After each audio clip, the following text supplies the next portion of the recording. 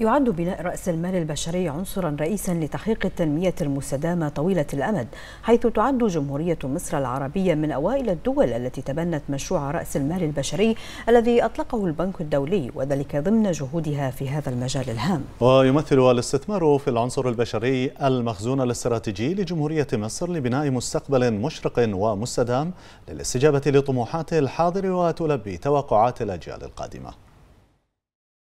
يعد الاستثمار في العنصر البشري أعظم استثمار في العصر الحديث. فالاهتمام بالعنصر البشري والاستثمار فيه هو الطريق الأوحد لبناء دولة قوية تستند على أساس متين وسليم.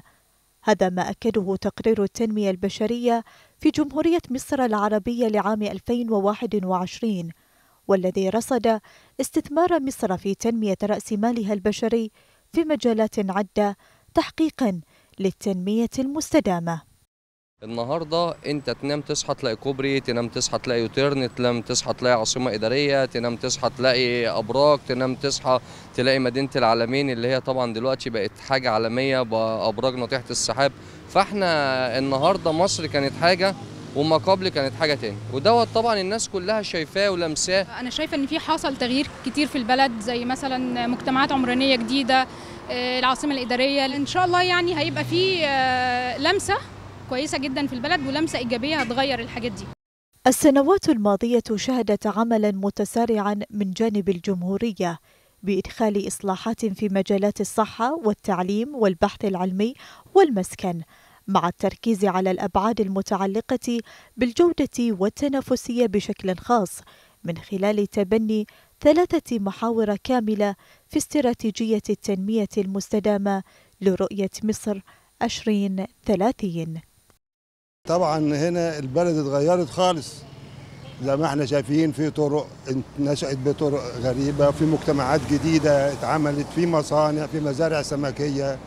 في أرض زراعية دلوقتي في زراعة جديدة طالعة في الصحراء في نهر جديد بينشأ كمان. بقى في صناعات كتيرة وفي بنية أساسية جامدة في البلد وفي رخاء في البلد. بالنسبة للوقت الحالي طبعا إحنا شفنا نقلة نوعية غير طبيعية. فاحنا إن شاء الله يعني في الفترة دي بنأمل وإن شاء الله حاسين إحنا ولامسين إن الوضع الأحسن دلوقتي بقيادة السيد الرئيس عبد الفتاح السيسي والقيادة الموجودة. وتعتبر مصر من أوائل البلدان التي تبنت مشروع رأس المال البشري الذي أطلقه البنك الدولي باعتباره مفتاحا لتحقيق النمو العادل وتحقيق التطوير في القطاع الحكومي. والنهوض بالمسيرة التطويرية التي تعيشها مصر في مختلف قطاعاتها وعلى الأصعدة كافة.